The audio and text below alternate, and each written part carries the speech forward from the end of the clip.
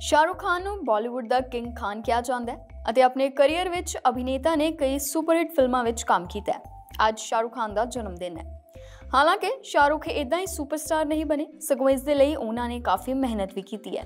ਅਸਲ ਵਿੱਚ ਇੱਕ ਵਾਰ ਸ਼ਾਹਰੁਖ ਨੇ ਖੁਦ ਦੱਸਿਆ ਸੀ ਕਿ ਜਦੋਂ ਮੁੰਬਈ ਵਿੱਚ ਰਹਿਣ ਆਏ ਸੀ ਤਾਂ ਉਹਨਾਂ ਦੇ ਕੋਲ ਘਰ ਨਹੀਂ ਸੀ ਅਤੇ ਜਦੋਂ ਇੱਕ ਟੀਵੀ ਸ਼ੋਅ ਦੇ ਵਿੱਚ ਕੰਮ ਕਰਨ ਗਏ ਤਾਂ ਉਹਨਾਂ ਨੇ ਸ਼ਾਹਰੁਖ ਨੂੰ ਰਹਿਣ ਵਾਸਤੇ ਜਗ੍ਹਾ ਦਿੱਤੀ। ਸ਼ੁਰੂਆਤੀ ਦਿਨਾਂ ਦੇ ਵਿੱਚ ਸ਼ਾਹਰੁਖ ਉਹਨਾਂ ਦੇ ਦਫ਼ਤਰ ਵਿੱਚ ਹੀ ਸੌਂਦੇ ਸੀ ਕੁਝ ਦਿਨ ਬਾਅਦ ਉਹਨਾਂ ਨੇ ਸ਼ਾਹਰੁਖ ਨੂੰ ਰਹਿਣ ਲਈ ਇੱਕ ਘਰ ਵੀ ਦਿੱਤਾ। ਫਿਰ ਜਦੋਂ ਸ਼ਾਹਰੁਖ ਦਾ ਵਿਆਹ ਹੋਇਆ ਤਾਂ ਉਹਨਾਂ ਰਹਿਣ ਲਈ ਇੱਕ ਵੱਖਰਾ ਮਕਾਨ ਕਿਰਾਏ ਤੇ ਲੈ ਲਿਆ।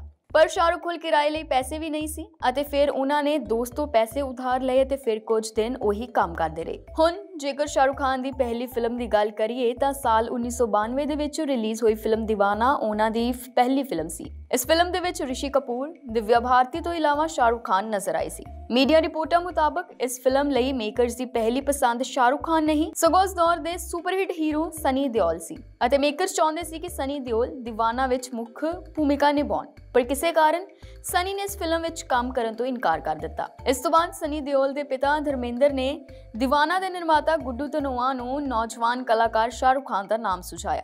ਕਿਹਾ ਜਾਂਦਾ ਹੈ ਕਿ ਸ਼ਾਹਰੁਖ ਖਾਨ ਨੂੰ ਆਪਣੀ ਪਹਿਲੀ ਫਿਲਮ دیਵਾਨਾ ਧਰਮਿੰਦਰ ਦੀ ਸਿਫਾਰਿਸ਼ ਤੋਂ ਮਿਲੀ ਅਤੇ ਇਸ ਤਰ੍ਹਾਂ ਉਹਨਾਂ ਨੇ ਬਾਲੀਵੁੱਡ ਦੇ ਵਿੱਚ ਆਪਣਾ ਪਹਿਲਾ ਕਦਮ ਰੱਖਿਆ। ਸ਼ਾਹਰੁਖ ਖਾਨ ਦੀ film Deewana super duper hit ਰਹੀ ਅਤੇ ਦੀਵਾਨਾ ਤੋਂ ਬਾਅਦ ਸ਼ਾਹਰੁਖ ਨੇ ਮਿਰਾਕਲ ਰਾਜੂ ਬਣ ਗਿਆ ਜੈਂਟਲਮੈਨ ਬਾਜ਼ੀਗਰ ਡਰ ਕਰਨ ਅਰਜੁਨ ਕੁਝ ਕੁਝ ਹੋਤਾ ਹੈ ਦਿਲਵਾਲੇ ਦੁਲਹਨੀਆਂ ਲੈ ਜਾਏਗੇ ਮੁਹੱਬਤੇ ਕਭੀ ਖੁਸ਼ੀ ਕਭੀ ਗਮ ਵਰਗੀਆਂ ਕਈ ਸੁਪਰ ਹਿੱਟ ਫਿਲਮਾਂ ਦੇ ਵਿੱਚ ਕੰਮ ਕੀਤਾ ਹੁਣ ਵੀ ਸ਼ਾਹਰੁਖ ਸੁਪਰਸਟਾਰ ਨੇ ਅਤੇ ਜਲਦੀ ਉਹ ਫਿਲਮ ਪਠਾਨ ਦੇ ਵਿੱਚ ਨਜ਼ਰ ਆਉਣਗੇ